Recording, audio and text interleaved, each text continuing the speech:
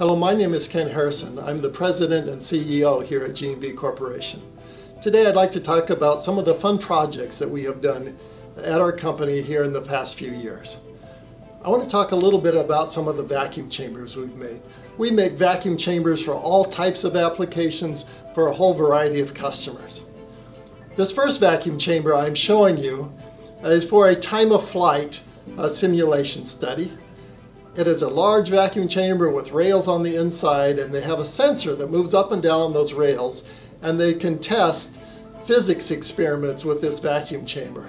This particular vacuum chamber was shipped to Australia and it was built to ASME code and was certified. The next vacuum chamber I want to share with you is a cryogenic vacuum chamber.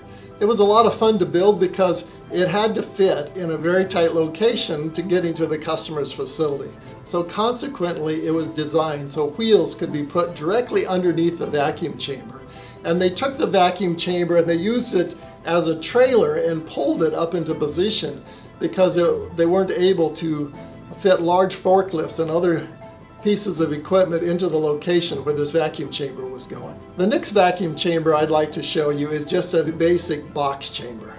We build a number of these box chambers for a whole variety of different applications, heat treating applications, welding applications, and the like.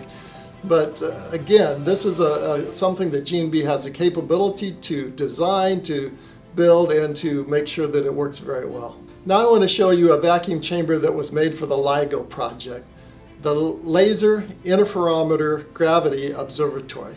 There are several different pictures here that I want to show you. First of all, I'll show you the, the picture of one of the vacuum chambers. We made a variety of pieces of equipment for this particular customer.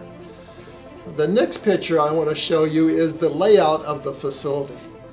As you know, an interferometer measures a distance, so you, you can set up a laser interferometer and you can measure a distance.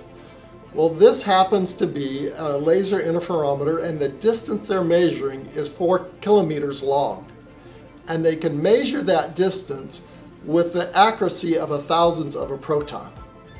So you can imagine the extreme accuracy that they're using and they have it in an L shape so they're actually measuring distance in two different directions.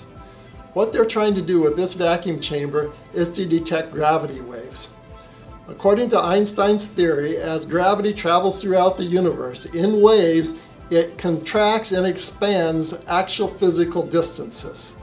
So when two black holes collide in outer space, it sends a shock wave of gravity waves throughout the universe.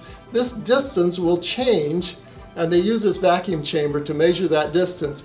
And through this system that we helped to provide some of the components for, they actually, for the very first time, measured gravity waves and uh, several Nobel Prizes were won for this particular project. The next has a relatively small vacuum chamber but it is for a beamline at a national lab, and it's the surrounding equipment that is really interesting. Uh, there are rotational slides, and, and GNB designed and built all of this. It extends and it contracts.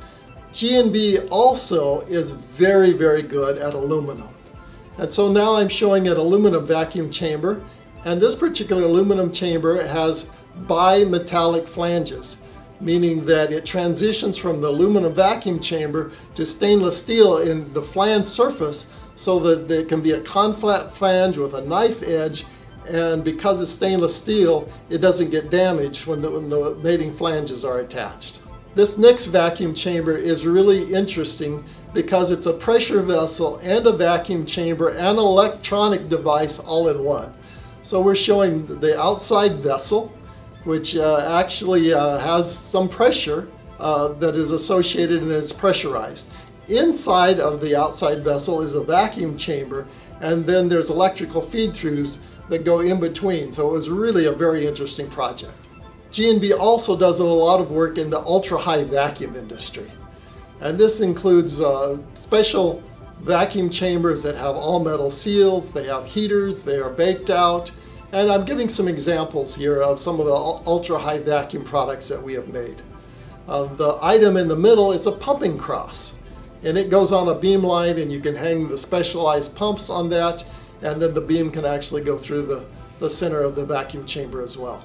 And finally, I would like to show a beamline component that is being baked out. In this particular case, we have heating elements wrapped around the outside of it. It's a fairly large beamline component and it's uh, in a Y configuration. And we can do the RGA, we can do the bake out, we can do the cleaning. And GNB has a full range of capabilities throughout the entire vacuum chamber industry from mild steel to stainless steel to aluminum to ultra high vacuum down to basic industrial vacuum. For all of your vacuum chamber needs, please consider GNB. To contact us, you can either use the website as shown on the screen or call us at 916 395 3003.